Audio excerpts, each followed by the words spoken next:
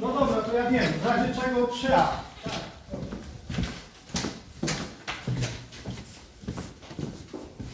Powie pan, że my nie zależy od obrony. Dla mnie to był pan Delmacja.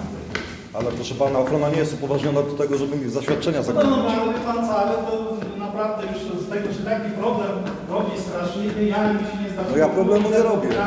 Po prostu Natomiast- dbam o swoje zdrowie. Natomiast no jakoś muszę rozpoznać sprawę. Później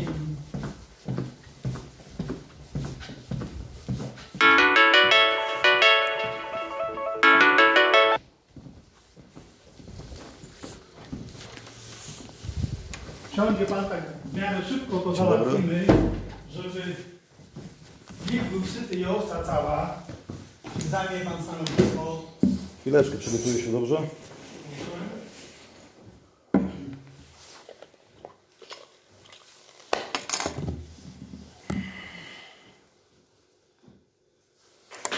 Nagrywam oczywiście rozprawę.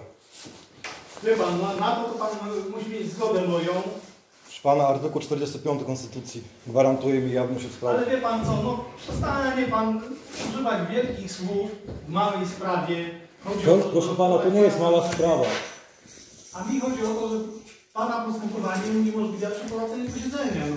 Więc postępujemy zgodnie z prawem.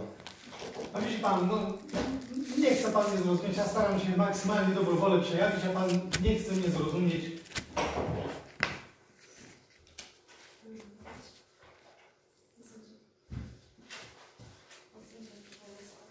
Tak. Może tak, żeby uniknąć kontaktu, siądzie pan tutaj, dobra? Czy już można wejść? Czy Tak, sam- tak, czy sam tak. będziemy Mam prośbę do pana, siądzie pan tam, dobra?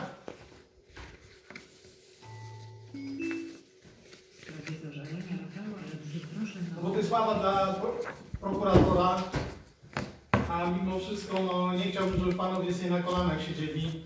Czy ja to zajmę, wysoki sędzia, bo to miejsce przeznaczone dla mnie. A to ja mam się przesiąść? No tak, tak, no bo Dobrze. w sądzie każdy ma swoje miejsce.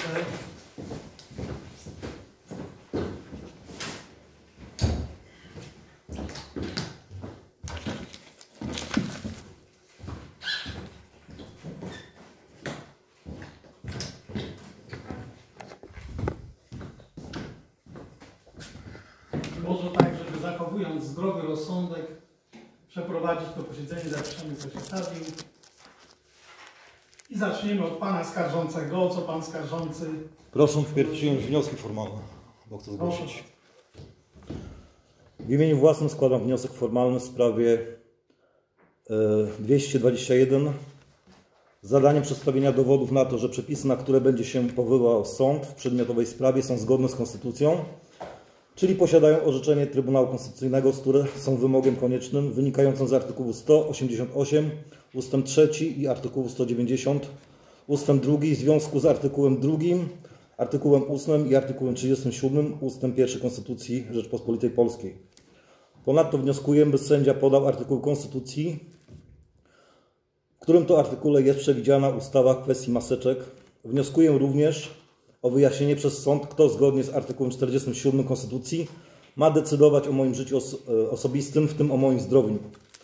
Wnioskuję o podanie badań, których będzie wynikać, że chodzenie w maskach powoduje zabezpieczenie przed wirusami oraz że noszenie maseczek nie szkodzi mojemu zdrowiu. Ale wie pan co, tylko jedną, na jedną rzecz chciałem zwrócić pan uwagę. No rozpoznajemy zażalenie, nie zajmujemy się dzisiaj maseczkami. To sąd w Działdowie się zajmował, orzeczenie sądu w Działdowie jest, co zrobił, umorzył postępowanie. No nie będziemy drugi raz tego rozpatrywali. Tak, tylko że ja dmucham na zimno, bo już byłem w Elblągu i tam pani się powołała na artykuł 13, który nie ma delegacji ustawowej.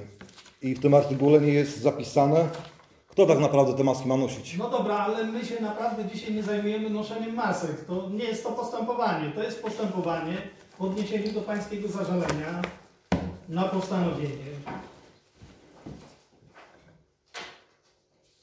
Ale jedno z drugiego wynika, ponieważ policjanci skierowali sprawę do sądu i legitymowali mnie niezgodność z prawem. Ponieważ artykuł, nie, nie złamałem artykułu 116.1a. I przedstawiłem mi zaświadczenie, które mnie zwalnia z tego nielegalnego rozporządzenia.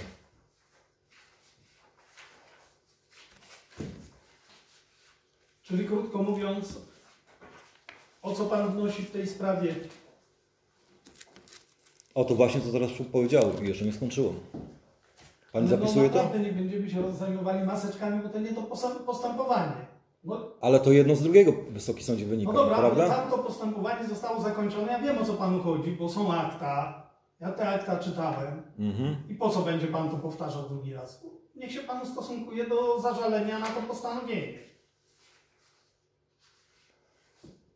Czyli odrzucam te, y, to, co... Nie odrzucam, po prostu nie mogę się tym zajmować, bo to nie jest to postępowanie. No jakby pan miał sprawę o rozwód, a chciałby pan, żeby, żeby podzielić majątek po dziadku w ramach postępowania spadkowego, to przecież sąd To nie- czyli podtrzymuje swoje racje w tej sprawie. Czyli podtrzymuje pan swoje Tak. zażalenie, tak?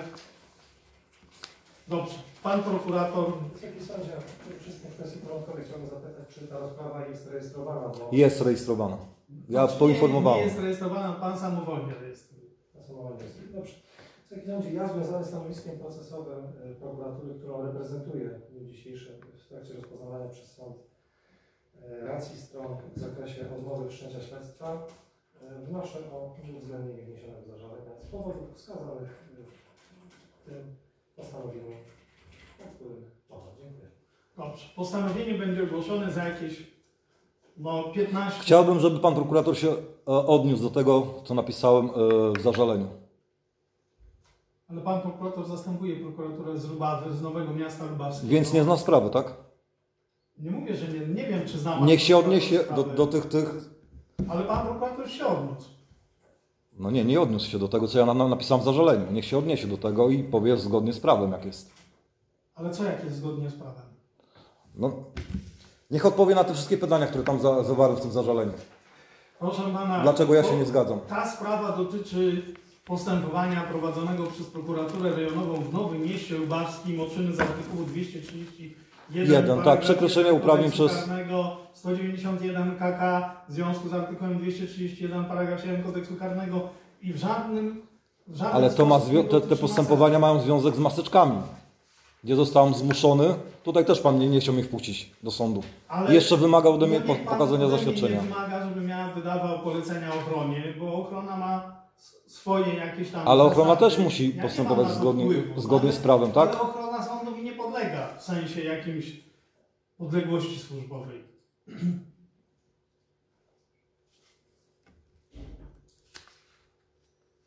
A sąd tak samo jest zobligowany do wydawania orze- orzeczeń zgodnie z konstytucją. Dobra, no za I artykuł 15 ósmy za kons- 15 minut, konsty- wie pan co, konstytucji. ale No, naprawdę, dajmy sobie z tym. Nie róbmy, nie powtarzajmy tej sytuacji z. Dajmy sobie spokój z tym.